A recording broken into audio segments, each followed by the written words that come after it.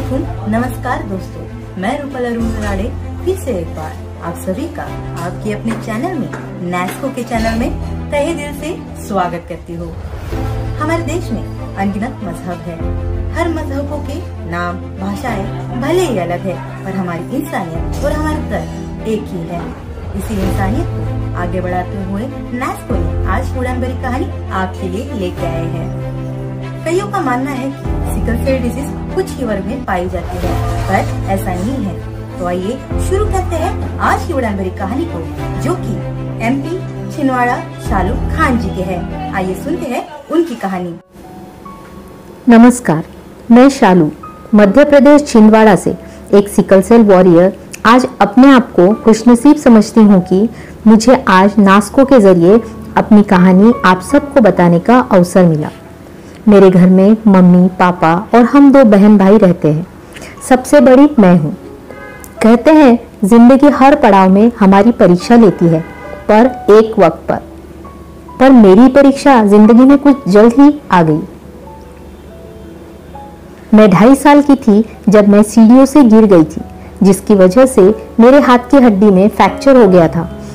इस हादसे के बाद मेरी तबीयत दिन ब दिन खराब होती ही चली गई। ऐसा एक भी दिन नहीं था जब मेरी अम्मी मेरी सेहत के लिए दुआ न मांगे। मेरी बीमार रहने की वजह अब तक मेरे घर वालों को पता ही नहीं चली थी। इसलिए पापा अपने थोड़े से घर खर्च के पैसे में ही मुझे वैद्य, हकीम या अस्पताल ले जाते थे।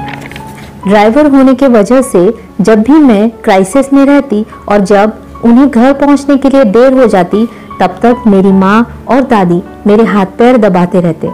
और मैं सिर्फ़ पापा पापा के नाम लेके रोई जाती। दर्द इतना तेज रहता कि सांस लेना भी मुश्किल हो जाता।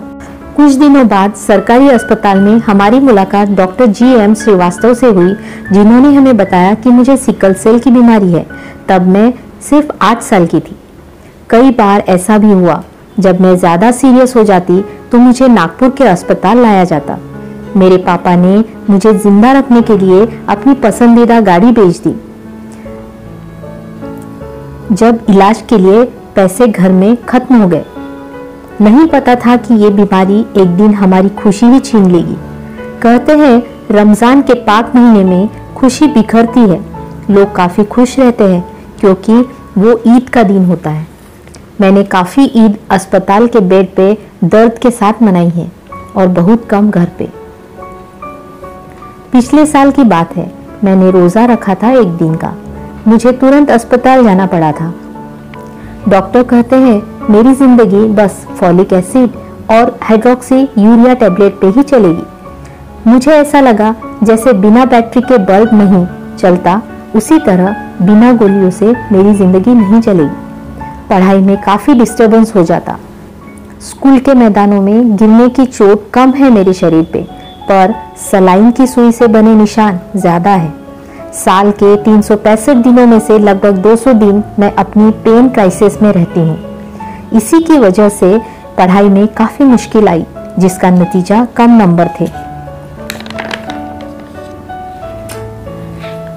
मैंने कई पेपर हाथ में सलाइन लगा के दिए और आज एक ग्रेजुएट हूँ।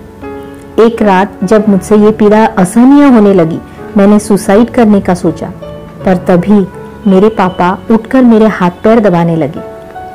मैं ज़ोर ज़ोर से रोने लगी। मैंने मन ही मन सोचा कि मैं बेहद खुशनसीब हूँ जो इतने अच्छे माँ बाप मैंने पाए। तब से मैंने अपने आप को समझाया और इस बीमारी को अपना लिया। कुछ दिन बाद मेरी मुलाकात दीपिका धर्मेंद्र शाहू, मुनमुन चौरसिया और ऐश्वर्या जी से हुई, जो एक सिकल सेल वॉरियर भी है और सिकल सेल पेशेंट के लिए काम भी करते हैं।